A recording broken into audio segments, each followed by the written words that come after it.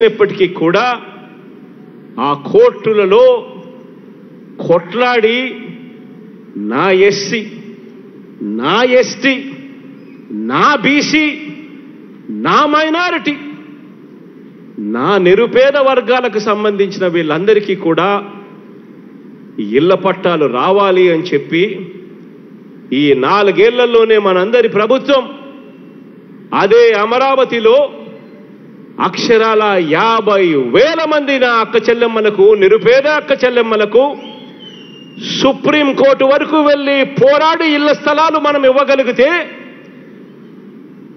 ఇళ్ళ నిర్మాణాలు కూడా చేయగలిగితే ఆలోచన చేయమని అడుగుతా ఉంటారు. మరి ఇదే పనిని ముప్పై సంవత్సరాల కిందటనే సీఎం అయిన ఈ బాబు పద్నాలుగేళ్ళు సీఎం కుర్చీలో కూర్చున్న ఈ బాబు మూడు సార్లు సీఎం అయిన ఈ బాబు ఎందుకు చెయ్యలేదు అని చెప్పి ఆలోచన చేయమని అడుగుతా ఉన్నాను మీ అందరితో కూడా. కారణం ఆ బాబు పేదల వ్యతిరేకి కాబట్టి జరగలేదు అన్నది గుర్తు పెట్టుకోమని కోరుతా ఉన్నా. మనందరి ప్రభుత్వం ఈ నాలుగు సంవత్సరాల కాలంలోనే అక్షరాల రెండు లక్షల పదహారు వేల కోట్ల రూపాయలు నేరుగా మీ బిడ్డ బటన్ నొక్కుతా ఉన్నాడు. ఎక్కడా లంచాలు లేవు. ఎక్కడా వివక్ష లేదు. నా అక్క చెల్లెమ్మల కుటుంబాల కుటుంబ సభ్యుల అకౌంట్లలోకి నేరుగా డబ్బులు పోతా ఉన్నాయి. ఈ నాలుగు సంవత్సరాల కాలంలోనే అక్షరాల మీ బిడ్డ హయాంలో రెండు లక్షల పదహారు వేల కోట్ల రూపాయలు నాకు అక్క చెల్లెమ్మల కుటుంబ సభ్యుల బ్యాంక్ అకౌంట్లలోకి ఈరోజు డబ్బులు మీ బిడ్డ పంపిస్తే మరి ఇదే పనిని మరి ఇదే పనిని ముప్పై ఏళ్ళ క్రితమే సీఎం అయిన ఈ బాబు పద్నాలుగు సంవత్సరాలు సీఎం కుర్చీలో కూర్చున్న ఈ బాబు మూడు సార్లు సీఎం అయిన ఈ బాబు మరి ఎందుకు చెయ్యలేదు అని చెప్పి ఆలోచన చేయమని కోరుతా ఉన్నా మీ అందరితో కూడా. కారణం కారణం ఆ బాబు పేదల వ్యతిరేకి కాబట్టి జరగలేదు అన్నది గుర్తుపెట్టుకోమని అడుగుతా ఉన్నా మీ అందరితో కూడా.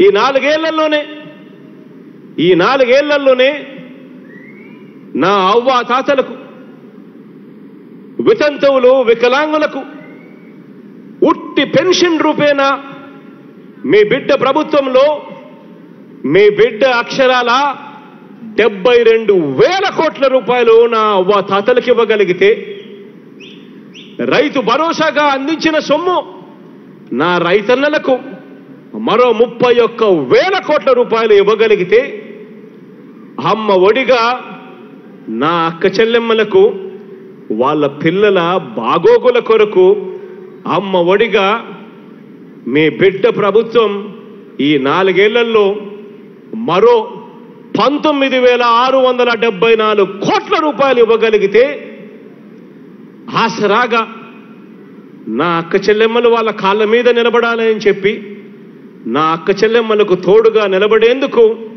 ఈ నాలుగేళ్ళలో మీ బిడ్డ ప్రభుత్వం ఆసరాగా ఇంకో పంతొమ్మిది వేల నూట డెబ్బై ఎనిమిది కోట్ల రూపాయలు ఇవ్వగలిగితే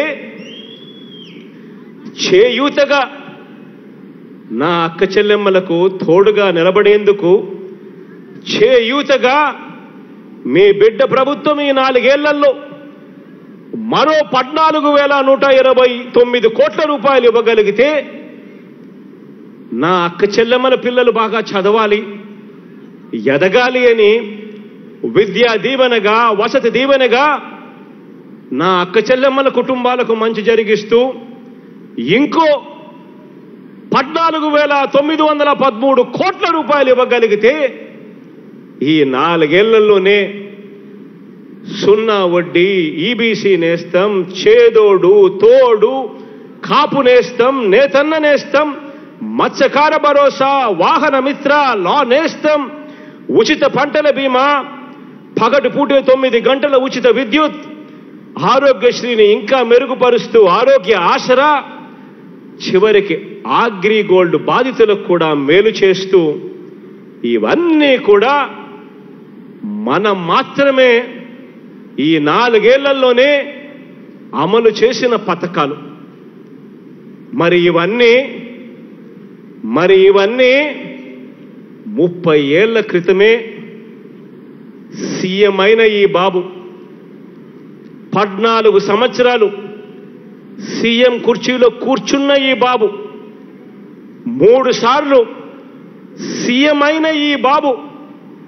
మరి ఎందుకు చెయ్యలేదు అని ఆలోచన చేయమని అడుగుతా ఉన్నా. కారణం ఆ బాబు పేదల వ్యతిరేకి కాబట్టి జరగలేదు అన్నది గుర్తుపెట్టుకోమని మీ అందరితో కూడా కోరుతా ఉన్నా. ఈరోజు ఈ రాష్ట్రంలో పేదలకు ఎలాగో ఇల్లు కట్టే ఉద్దేశం ఏనాడు కూడా ఈ పెద్ద మనిషి చంద్రబాబు నాయుడు గారికి ఎలాగూ లేదు. ఇక ఎన్నికలు దగ్గరికి వచ్చేసరికి ఇంకో పది నెలల్లో ఎన్నికలు ఉన్నాయి అనేసరికి మాత్రం ఈ పెద్ద మనిషి చంద్రబాబు నాయుడు గారు తన సొంత నియోజకవర్గం కుప్పంలో ఈరోజు తాను కుప్పంలో ఎమ్మెల్యేగా గెలిచి ముప్పై నాలుగు సంవత్సరాలైన తర్వాత ఈ డెబ్బై ఐదేళ్ళ వయసు ఉన్న ఈ ముసలాయన ఈరోజు ఎన్నికలు మరో పది నెలల్లో ఉన్నాయి అని ఉన్న నేపథ్యంలో ఈ రోజు కుప్పంలో ఇల్లు కట్టుకుంటాను పర్మిషన్ ఇవ్వమని చెప్పి నన్ను అడుగుతాడు.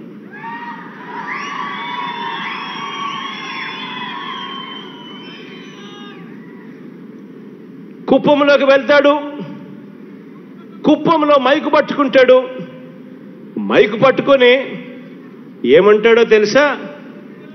ఇంకో ఛాన్స్ ఇవ్వండి. చేసేస్తా.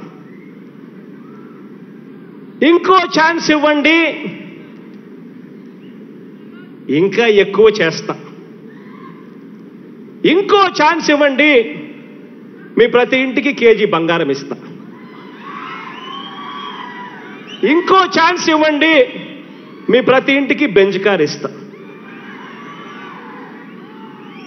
అని ఈ పెద్ద మనిషి ఈ మధ్యకాలంలో ఎన్నికలు దగ్గర పడేసరికి మళ్ళీ ఈ పెద్ద మనిషి మోసం చేయడానికి బయలుదేరాడు.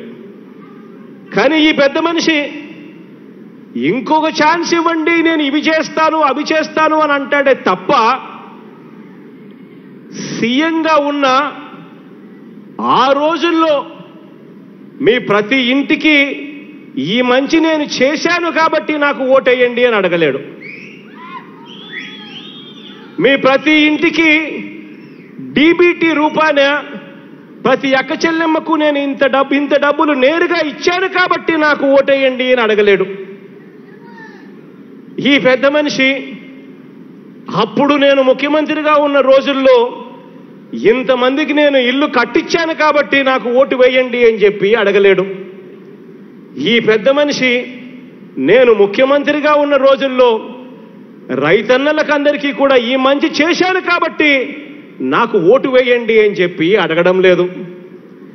ఈ పెద్ద మనిషి ప్రతి పేద సామాజిక వర్గానికి తాను ముఖ్యమంత్రిగా ఉన్నప్పుడు ఈ మంచి చేశాను కాబట్టి నాకు ఓటు వేయండి అని చెప్పి అడగడం లేదు. ఈ పెద్ద మనిషి తాను ముఖ్యమంత్రిగా ఉన్నప్పుడు తాను పిల్లలకి మంచి చేశాను కాబట్టి నాకు ఓటేయండి అని అడగడం లేదు. ఈ పెద్ద మనిషి తాను ముఖ్యమంత్రిగా ఉన్నప్పుడు అవ్వ తాతలకి మంచి చేశాను కాబట్టి నాకు లేదు. ఈ పెద్ద మనిషి నా అక్క చెల్లెమ్మలకి మంచి చేశాను కాబట్టి నాకు ఓటు వేయండి అని ఈ పెద్ద మనిషి అడగడం లేదు.